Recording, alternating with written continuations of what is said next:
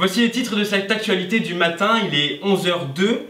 Une guerre nucléaire, mais une guerre également de tranchées selon les spécialistes. Les informations importantes qui nous ont été données sont claires. Il faut rester chez soi, se cloîtrer, fermer les volets pour éviter d'être contaminé par les ondes radioactives. Nous recevons un spécialiste, Jean-Christine Pétou. Bonjour Jean-Christine. Bonjour René. Alors, vous avez écrit un livre qui attire énormément les foules. Pouvez-vous nous expliquer pourquoi? Eh bien, euh, écoutez, euh, tout d'abord, il faut, il faut que je vous le dise, euh, c'est quelque chose à laquelle on ne s'attendait pas du tout.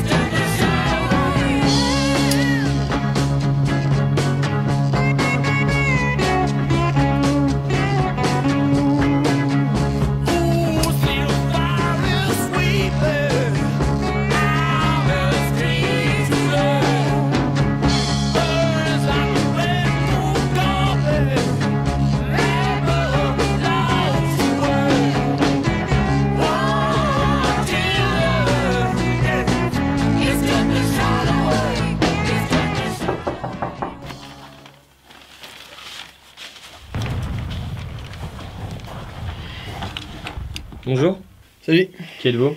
Rodolphe, je viens de loin, c'est le Dawa dehors. D'accord. Je peux venir? Vous allez déjà répondre à trois questions. Ok, allez-y. Quel est votre nom? Rodolphe, survivant un apocalypse. Quelle est votre quête? Je cherche un abri sûr. Et quelle est la troisième question? Quelle est votre couleur préférée? Le jaune, vous pouvez rentrer.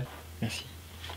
Que se passe-t-il dehors Quand la guerre fut déclarée, j'étais à la campagne, dans la maison de mes parents. Une bombe explosèrent et Je me réfugia dans la grange. Moi et mon chien Patoche partîmes en route. Quelle ne fut pas notre surprise qu'elle fût si longue.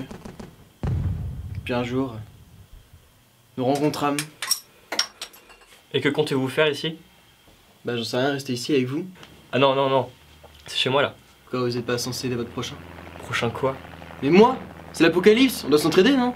Ah non, vous restez pas ici, hein. Et puis qui me dit que vous êtes pas radioactif? J'ai l'air radioactif, nom de Dieu? Vous laissez Dieu en dehors de ça.